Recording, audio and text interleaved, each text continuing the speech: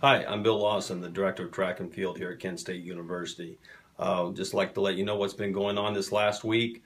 We were over at the University of Akron at the Campbell Wright Open. Had a, a lot of really good performances. It's a good tune-up meet to get us ready for the MAC championships, which are up on us right now.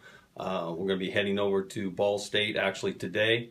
We'll be competing Thursday, Friday, and Saturday, Saturday over there at Ball State in Muncie, Indiana uh, for the MAC championship uh, trying to bring home another title if possible. If the women were to do so, would be their sixth in a row outdoors, and that would be an all-time MAC record. Uh, you know, our ladies are pumped up and ready to go.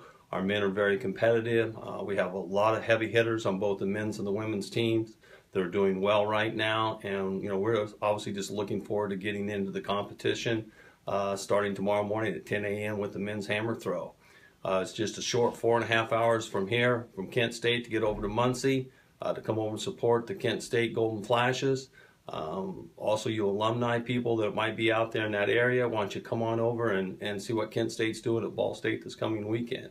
Um, I think Thursday will be a big day for both the men's and the women's team. Will get us off, uh, starting off with some very important events like in the women's pole vault, uh, and the men's hammer, uh, and the multi events, which the women's heptathlon, the men's decathlon, will kind of set the tone for how the meet's going to go. Then obviously Friday is when we really get into the bulk of things with the preliminary races. Uh, those will determine who runs in the finals on Saturdays, and there will be some final events on Friday.